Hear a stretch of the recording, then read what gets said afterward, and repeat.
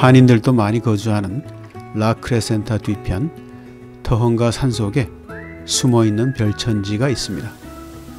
한여름에도 시원한 물줄기가 쏟아지는 폭포인데요.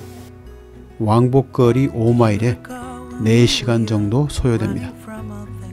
완만한 산길을 따라 오르다 보면 운무가 서면은 계곡 사이로 총 천연색의 야생화들이 방문객들을 반겨줍니다.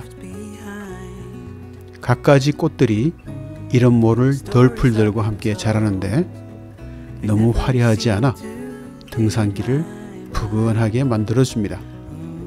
약 2마일을 들어가면 저 멀리 한 줄기의 큰 폭포가 떨어지는 광경이 보입니다.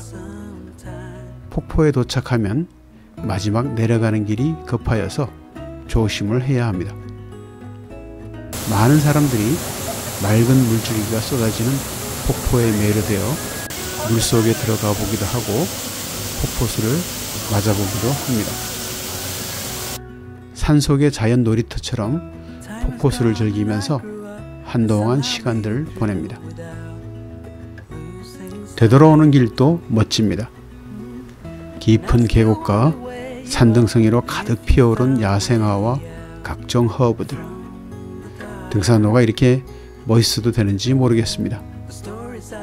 저희는 산행을 마치고 라카냐다의 피자집에 들렀습니다.